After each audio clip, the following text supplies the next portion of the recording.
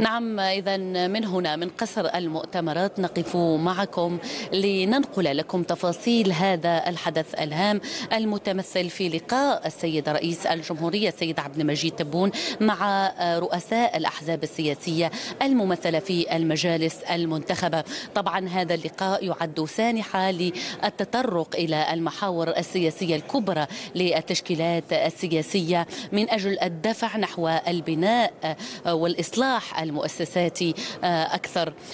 طبعا من البديهي أن تكون كل الأنظار متجهة هنا لأن هذا اللقاء يحمل في طياته ملامح المستقبل المبني على التشاور والحوار والذي باشره السيد الرئيس منذ قدومه وتوليه مقاليد الحكم.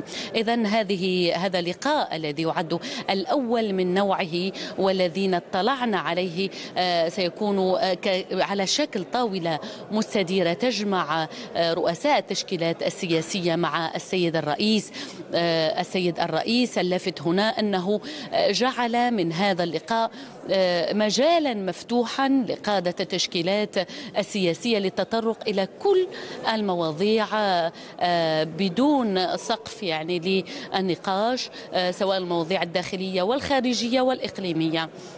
نتطلع معكم إلى هذا اللقاء وبداية هذا اللقاء ونتائج هذا اللقاء. طبعا المختصون يؤكدون بأنها بأن عقد مثل هذا اللقاء الذي يجمع السيد الرئيس مع قادة التشكيلات السياسية هو خطوة أولى خطوة أخرى إيجابية نحو توحيد الرؤى ونحو تحقيق الاستقرار والوحدة الوطنية بما يتماشى مع تطلعات الشعب الجزائري.